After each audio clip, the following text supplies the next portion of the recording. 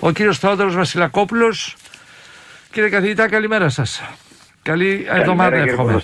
Καλή εβδομάδα και εσάς και στους ακροατές σας. Και ευχαριστώ για την προσοχή. Ευχαριστώ πάρα πολύ. Έχω ένα θέμα, δεν σας αφορά εσάς, με τη γραφειοκρατία, αναφορικώ με το πιστοποιητικό. Δεν βρίσκουν άκρη με το πιστοποιητικό. Όχι, όχι, μου επιτρέπετε να βοηθήσω ορίστε, λίγο. Ορίστε. Αν μου επιτρέπετε. Ναι, ναι. Αν μπείτε στο GovGR, έτσι, και πατήσετε το Ευρωπαϊκό Ψηφιακό Πιστοποιητικό COVID-19, σας βγάζει κατευθείαν σε, ε, ένα, σε μια οθόνη που σας λέει επιλέξτε ενέργεια. Και λέει ψηφιακό πιστοποιητικό COVID-19 εμβολιασμός.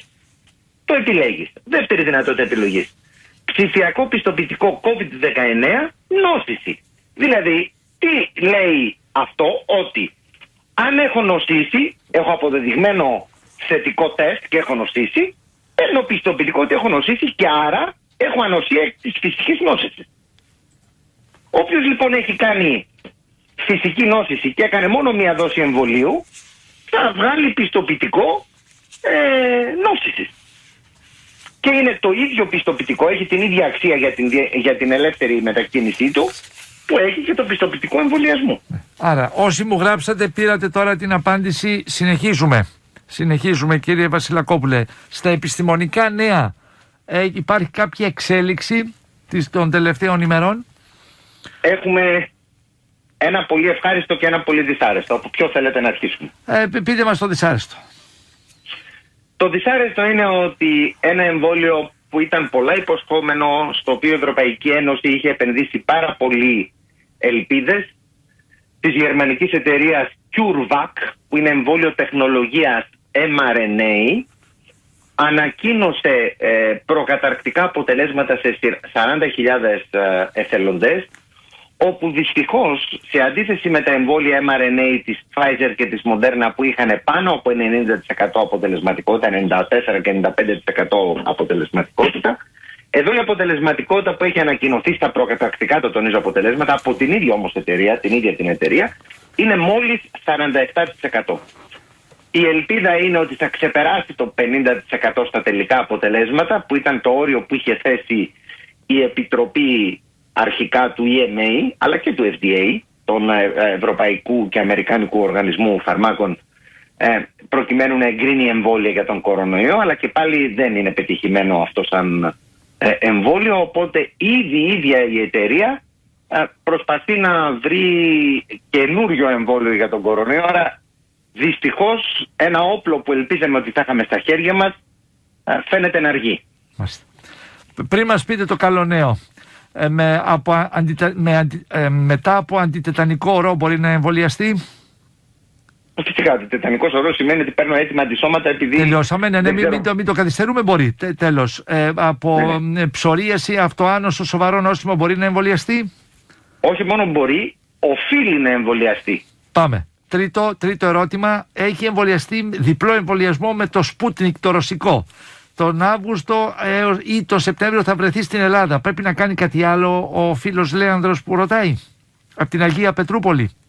Εξ όσων γνωρίζω, η Εθνική Επιτροπή Εμβολιασμών αποφάσισε να αποδέχεται ως εμβολιασμένους και αυτούς που είναι εμβολιασμένοι με μη εγκεκριμένα εμβόλια, όπως το Sputnik, το Sinovac και το Sinopharm. Ε, το Sputnik, να θυμίσω, είναι ένα εμβόλιο τεχνολογίας που μοιάζει με το AstraZeneca, έτσι το Sinovac και το Sinopharm είναι κινέζικα εμβόλια, είναι εξασθενημένοι κορονοϊοί. Κάποιοι βόρειοι γείτονές μας, Σέρβοι, οι υπόλοιποι Βαλκάνοι έχουν πάρει τέτοια εμβόλια και προφανώς γι' αυτό ελήφθηκε αυτή η απόφαση. Μάλιστα. Ωραία. Ε, το... Δεν είναι συγκεκριμένα για την Ευρωπαϊκή Ένωση αυτά τα εμβόλια, έτσι το τονίζω, λόγω μη επαρκών δεδομένων τα οποία οι ίδιες κατασκευάστριες εταιρείες ε, έχουν, παράξει, ε, έχουν παράσχει στις ε, ρυθμιστικές αρχές. Ναι. Ο γιος του πέρασε 20 ετών μυοκαρδίτιδα. Μπορεί να εμβολιαστεί με μοντέρνα; Κοιτάξτε να δείτε. Ε, οι αναφορές για μυοκαρδίτιδες μετά, ιδίως στη δεύτερη δόση του εμβολίου, είναι εξαιρετικά σπάνιες, εξαιρετικά σπάνιες και όλες ήταν πάρα πολύ ήπιες. Ναι. Ε, δεν έχει συσχετιστεί στα σίγουρα, δεν έχουμε βρει μηχανισμό συσχέτισης με το εμβόλιο.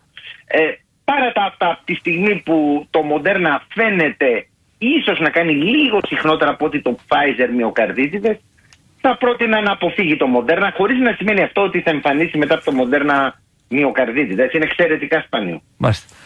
Και για, το, για τις μυοκαρδίτιδες από Pfizer έχετε να πείτε κάτι, υπάρχει κάτι επιστημονικό πρόσφατο; Προσέξτε, προσέξτε. Αυτό το οποίο υπάρχει είναι κάποιες στατιστικές να το πω έτσι αποτυπώσεις της συχνότητας της μυοκαρδίτιδας που εμφανίστηκε κυρίως εκεί που το συζητούμε είναι στα παιδιά 18-24 ετών ε, κυρίως αγόρια, όχι κορίτσια αυτή τη φορά κάνουν λίγο πιο συχνότερα από το αναμενόμενο, ελάχιστα πιο συχνότερα από το αναμενόμενο ε, μια πολύ ήπια μυοκαρδίτιδα ε, ή περικαρδίτιδα χωρίς όμως συνέπειες, έτσι.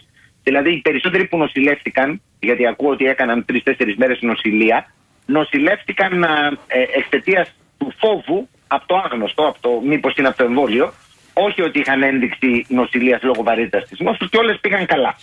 Άρα μελετάτε η, η πιθανή συσχέτιση έτσι, και από τον FDA και από τον EMA. Δεν έχει αποφανθεί ακόμα κανένας από τους δύο ρυθμιστικούς οργανισμούς ότι ναι, πράγματι φταίει το εμβόλιο, αλλά η επιστήμη είναι υποχρεωμένη να, να δίνει όλα τα δεδομένα και να εξηγεί ότι αυτή τη στιγμή το, το, το κοιτάμε, ναι. το μελετούμε. Ναι. Ε, και πάμε τώρα στη, στα καλά νέα.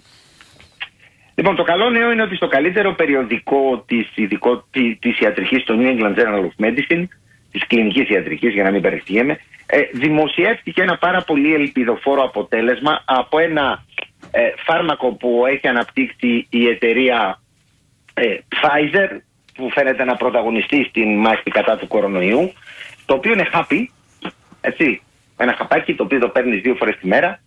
Ε, η μελέτη βεβαίως αφορά, είναι φάση 2, δεν είναι ακόμα φάση 3 αλλά δείχνει τρομερά καλά αποτελέσματα σε νοσηλευόμενους ασθενείς με αναπνευστική ανεπάρκεια μειώνει δηλαδή πολύ και την πιθανότητα θανάτου αλλά και την πιθανότητα να παραμένει στο νοσοκομείο και να έχει αναπνευστική ανεπάρκεια είναι πιθανόν το φάρμακο το οποίο είχε δηλώσει ο κύριος Μπουρλά ότι μελετάμε το χάπι ε, και θα έχουμε ε, αποτελέσματα. Η φαρμακευτική ουσία λέγεται το φασίτινιμπ, το φασίτινιμπι. Είναι ένας αναστολέας, να το πω έτσι, μιας κοινάσης ενός ενζήμου, της DAC κοινάσης. Μακάρι αυτό το φάρμακο να αποδειχτεί. Δεν θα λύσει τελείως το πρόβλημα, αλλά θα μειώσει επίσης, θα είναι ένα πολύ ισχυρό εργαλείο ε, για αυτούς που είτε γιατί έχουν ένα στροκοταστολή και δεν έχουν εμβολιαστεί καλά, δεν έχουν, απο... Συγνώμη, δεν έχουν αποκτήσει καλή ανοσία μετά από τον εμβολιασμό, ε, ε, είτε γιατί υπάρχει κάποιο άλλο πρόβλημα, ε, θα είναι αν αποδειχτεί στη μελέτη φάσης 3 που γίνεται τώρα ότι είναι εξίσου αποτελεσματικό, γιατί τα αποτελέσματα στη φάση 2 είναι πραγματικά εντυπωσιακά, θα μας δώσει ένα πολύ σημαντικό όπλο στα χέρια μας ε, το οποίο θα μειώνει τη φλεγμονή που προκαλείται από την νόσο και αυτό δημιουργεί ελπίδα διότι ξέρετε ε, εγώ που σας λέω ότι η λύση είναι το εμβόλιο και δεν υπάρχει καμία αμφιβολία γι' αυτό υπάρχουν και φορές που μπορεί το εμβόλιο να μην δράσει γιατί κάποιος για παράδειγμα είναι πολύ βαριά νοσοκατασταλμένος, παίρνει πολύ βαριά φάρμακα και δεν μπορεί να κάνει καλή ανοσολογική απάντηση άρα πρέπει να έχουμε και φάρμακα ε, για αυτούς τους ανθρώπους. Ε, προς αυτή την κατεύθυνση λοιπόν αυτό είναι μια πολύ μεγάλη ελπίδα. Κύριε Βασιλακόπουλο, σας ευχαριστώ πολύ. Την καλημέρα μου. Εγώ ευχαριστώ, ευχαριστώ πάρα πολύ. Ευχαριστώ, μία, μία, μία, ένα δευτερόλεπτο μόνο, κύριε Όχι, αυτό. Να κάνω διάλειμμα και θα πούμε το δευτερόλεπτο. Λιγότερο από λεπτό, κύριε Βασιλακόπουλο, δεν έχω άλλο χρόνο. Ορίστε, παρακαλώ. Ναι. Η αποκλιμάκωση που έχει συμβεί στη χώρα μας της επιδημίας, που είναι πραγματική, πρέπει να μην μας οδηγήσει στο να αναβάλουμε τον εμβολιασμό μας. Έχει φανεί από τις ΗΠΑ ότι όταν φτάνουμε σε ένα ποσοστό εμβολιασμού γύρω στο 50%, υπάρχει μια πολύ μεγάλη επιβράδυνση στο πόσοι ε, ε, άλλοι άνθρωποι προσέρχονται για εμβολιασμό. Πρέπει μέσα στο καλοκαίρι να πετύχουμε το 70% εμβολιαστικής κάλυψης, δηλαδή την ανοσία γέλης, γιατί αν το αναβάλουμε για να το κάνουμε αργότερα, αφού τώρα δεν έχουμε επιδημία να πούμε, ας το κάνω ρε παιδί μου το εμβόλιο το Σεπτέμβρη, τότε εάν πιάσουμε ανοσία, προσπαθήσουμε να πιάσουμε ανοσία γέλης τέλος φθινοπόρου ή αρχές χειμώνα, θα, θα χρειαζόμαστε. Όχι, θα, είναι, θα χρειαζόμαστε 85-90% που θα είναι άπιαστο νούμερο. 63 μέρες ήταν σε μονάδα εντατικής θεραπείας. Έχασε 25 κιλά. Μπράβο στον άνθρωπο. Βγήκε. Αναφέρομαι στον κύριο Μιχάλη Τρεμόπουλο, ο οποίος όμως λέει απέναντι στο εμβόλιο ήμουν επιφυλακτικός. Λοιπόν.